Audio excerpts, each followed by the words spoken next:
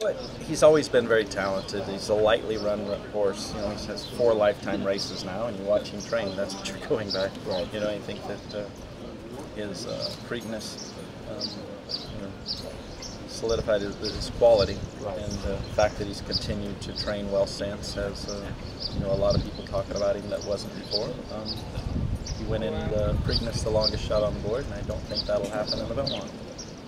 Yeah, for me, it's breeding horses that can win Breeders' Cup races, classic races.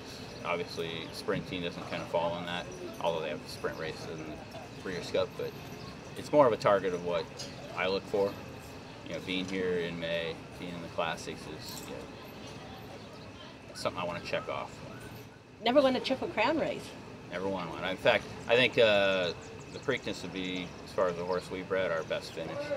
You know, Gun Runner was the best finish in the horse we bought, but for one that we bred, Tenfold is the best finish we've had. You know, I say confident, I think it's confident that he was going to step up.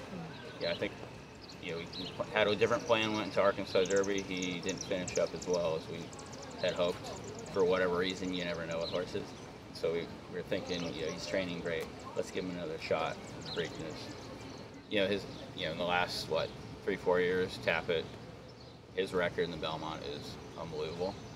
Curlin coming up a little, a little short in the Belmont, but basically distance was obviously well within his capabilities. He's got it on both sides.